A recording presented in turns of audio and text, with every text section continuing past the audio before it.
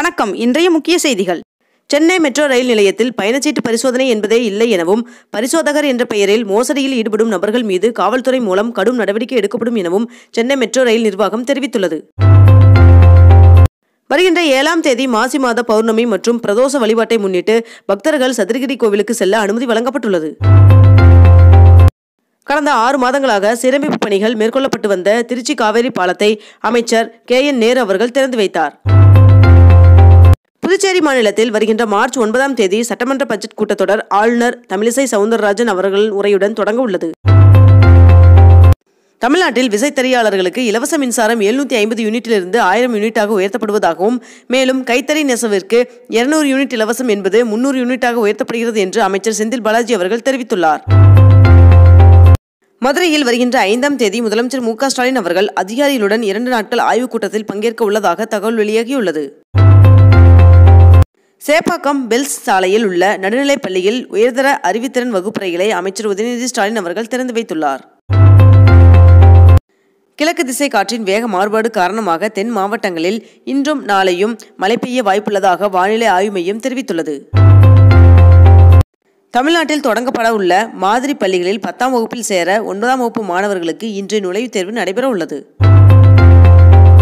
தமிழ்நாட்டில் ஆவின் மாத அட்டை மூலம் பால் வாங்கும் நுகர்வோர்கள் தங்களது பால் அட்டை எண்ணுடன் ஆதார் எண்ணை இணைக்க வேண்டும் என்று ஆவின் நிர்வாகம் அறிவித்துள்ளது. இன்று காஞ்சிபுரம் மாவட்டத்தில் அனைத்து பள்ளிகளும் இயங்கும் என்று முதன்மை கல்வி அலுவலர் தெரிவித்துள்ளார். இன்று கன்னியாகுமரி தென்காசி நெல்லை ஆகிய மூன்று மாவட்டங்களுக்கு உள்ளூர் விடுமுறை அறிவிக்கப்பட்டுள்ளது. சிவகங்கை மாவட்டம் கீழடியில் இருபத்தைந்து கோடி ரூபாய் செலவில் பிரம்மாண்டமான அருங்காட்சியகம் அமைக்கப்பட்டுள்ளது. இந்த அருங்காட்சியகத்தை தமிழக முதலமைச்சர் மு ஸ்டாலின் அவர்கள் நாளை நேரில் சென்று திறந்து வைக்க உள்ளார். மதுரை மாட்டுத்தாவணியில் திட்டமிட்டபடி டைட்டில் பார்க் அமைக்கப்படும் என்று தமிழ்நாடு அரசின் தொழில்துறை விளக்கம் அளித்துள்ளது. நாமக்கல் மாவட்டத்தில் பல்வேறு நிகழ்ச்சிகளில் பங்கேற்க வந்த அமைச்சர் உதயநிதி ஸ்டாலின் அவர்கள் நாமக்கல் நகராட்சி அழகுநகர் தொடக்கப்பள்ளியில் காலை உணவு திட்டத்தை நேற்று ஆய்வு செய்தார். சோனியா காந்தி அவர்களுக்கு திடீர் உடல்நலக்குறைவு ஏற்பட்டதன் காரணமாக அவர் டெல்லியில் உள்ள தனியார் மருத்துவமனையில் அனுமதிக்கப்பட்டுள்ளதாக தகவல் வெளியாகியுள்ளது. மாசி மகா திருவிழாவை ஒட்டி மாசி ஏழாம் தேதி புதுச்சேரி மற்றும் காரைக்காலில் உள்ள பள்ளிகளுக்கு விடுமுறை என அறிவிக்கப்பட்டுள்ளது. நடப்பாண்டில் மார்ச் வரை பதிவுத்துறையில் வசூலிக்கப்பட்ட மொத்த வருவாய் பதினையாயிரத்தி அறுநூத்தி எண்பத்தி நான்கு கோடி ரூபாய் என்று தெரிவிக்கப்பட்டுள்ளது.